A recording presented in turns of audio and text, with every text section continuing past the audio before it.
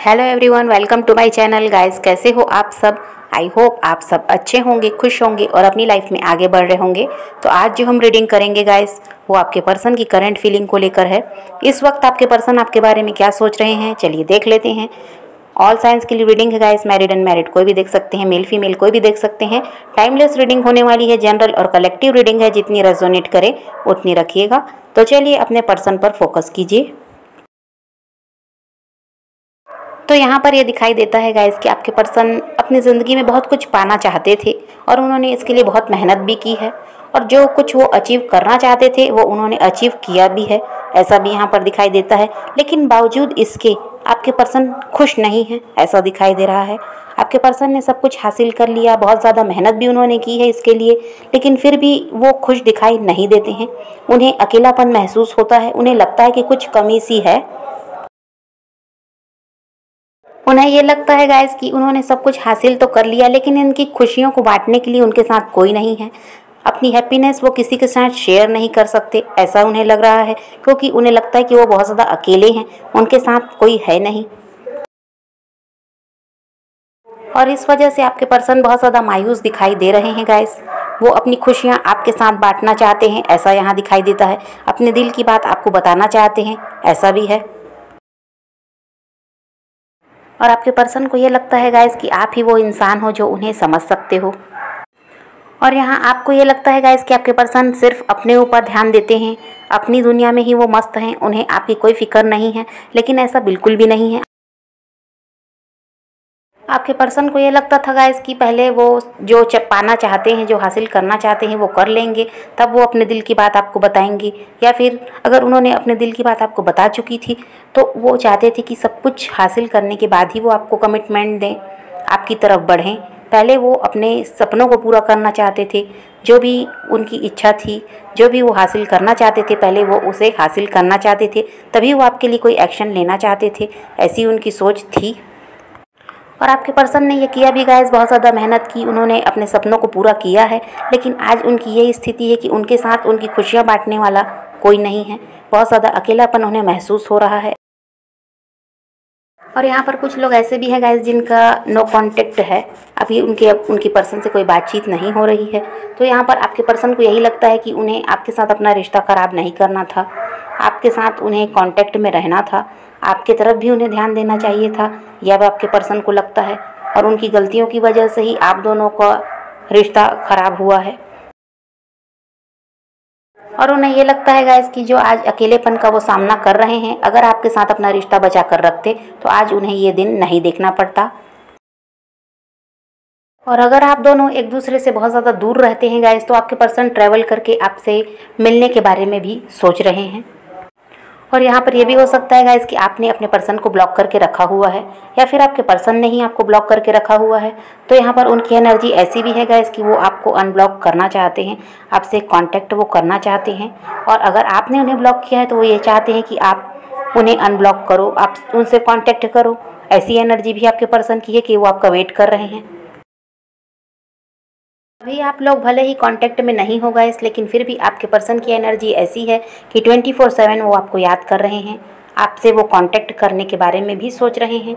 क्योंकि आपके पर्सन आपको बहुत ज़्यादा मिस कर रहे हैं और आपके बिना उनका दिल बिल्कुल भी नहीं लगता, ऐसा यहाँ दिखाई दे रहा है। आपके पर्सन के दिमाग में हमेशा रहता है गैस कि आपकी लाइफ में क्या चल रहा है, आप कैसे हो, किस तरह हो। ये सब बहुत कुछ आपके बारे में आपके पर्सन जानना चाहते हैं, ऐसा भी यहाँ दिखाई देता है।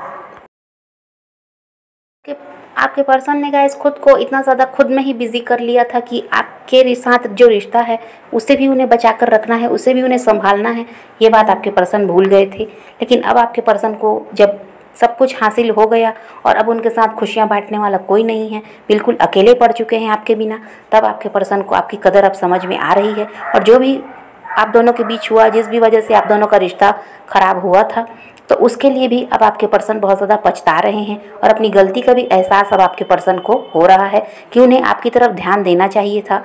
सिर्फ़ अपने करियर पर उन्होंने फोकस किया, अपनी ज़िंदगी को बेहतर बनाने के लिए उन्होंने फोकस किया और आपकी तरफ़ बिल्कुल भी ध्यान नहीं दिया तो अब इस चीज़ का आपके पर्सन को पछतावा भी है।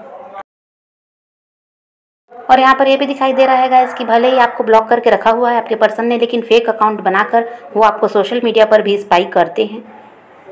क्योंकि वो जानना चाहते हैं कि आप जब उनसे अब अलग हो चुके हो तो आप किस हाल में हो, आपकी ज़िंदगी में क्या चल रहा है, आपके बारे में वो सब कुछ जानना चाहते हैं, इसी वजह से आप पर आपके पर्सन नज़र बनाकर रखते हैं।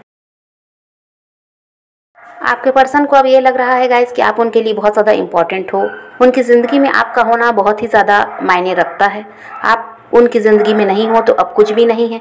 ऐसा आपके पर्सन को लग रहा है, बहुत ज़्यादा अकेले पड़ चुके हैं वो, ऐसा भी उनको लग रहा है। इस वजह से अब वो आपके साथ अपना रिश्ता दोबारा से सुधारना चाहते हैं।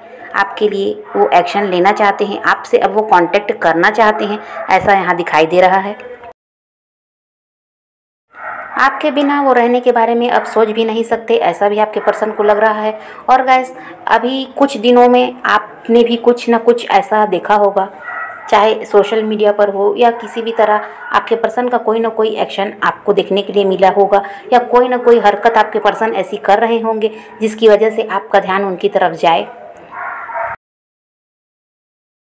ऐसा भी हो सकता है कि कभी अनब्लॉक कर दिया, फिर ब्लॉक कर दिया, कभी डीपी कुछ ऐसी लगा दी जिसकी वजह से आपका ध्यान उनकी तरफ़ जाए। कभी कुछ ऐसा स्टेटस में लिख दिया कि वो आपको समझ में आए कि वो आपको मिस कर रहे हैं तो कोई ना कोई हरकत आपको आपके पर्सन की देखने को मिल रही होगी या फिर कुछ दिनों में मिलेगी। भले ही गैस आपने मूव ऑन करने की कोशिश की है अपने पर्सन से या आप चाहते हो कि आप उन्हें भूल जाओ, लेकिन आपके पर्सन ऐसा नहीं चाहते। वो बिल्कुल भी नहीं चाहते कि आप उनसे दूर जाओ। या आपकी ज़िंदगी में कोई और आए, ये भी आपके पर्सन नहीं चाहते हैं। आपके पर्सन किसी और के साथ आपको देख नहीं सकते, ऐसी भी एनर्जी उनकी है। और इसी वजह से वो चाहते हैं कि जल्दी से जल्दी वो आपकी तरफ़ बढ़ें, आपसे कांटेक्ट करें। कहीं अब ज़्यादा देर ना हो जाए, ये भी डर है आपके पर्सन को। पहले क्या था गाइस कि आप ही हर कोशिश करते थे इस रिश्ते को बचाने की, इस रिश्ते को संभालने की। आपके पर्सन का ध्यान आपके इस रिश्ते को बचाने में नहीं था या इस रिश्ते को संभालने में नहीं था, आपकी तरफ़ नहीं था। आपको वो इग्नोर भी करते थे क्योंकि उनका सारा ध्यान अपने ऊपर था। अपनी ज़िंदगी को बेहतर बनाने में आपके पर्सन लगे हुए थे, ऐसा यहाँ दिखाई देता है। और यहाँ पर कुछ लोगों के रिश्ते में थर्ड पार्टी भी आई है गैस ऐसा भी हो सकता है। कि थर्ड पार्टी की वजह से भी आपका रिश्ता ख़राब हुआ हो तो आपका पर्सन का ध्यान उस थर्ड पार्टी पर भी था। ऐसा भी है कुछ लोगों के साथ। तो अब पहले आप ही की तरफ़ से कोशिश की जाती थी इस रिश्ते को संभालने की, बचाने की, लेकिन आपके पर्सन ध्यान नहीं देते थे इतना ज़्यादा। और इसी वजह से ये रिश्ता ख़राब भी हुआ है। लेकिन अब आपके पर्सन पूरी तरह इस रिश्ते पर ध्यान देना चाहते हैं। इस रिश्ते पर उनका ध्यान है भी। किसी भी तरह आपके साथ अब वो रीयूनाइट होना चाहते हैं। आप किसी भी तरह उनकी ज़िंदगी में वापस आ जाओ, ये आपके पर्सन चाहते हैं, ऐसी एनर्जी है अभी उनकी।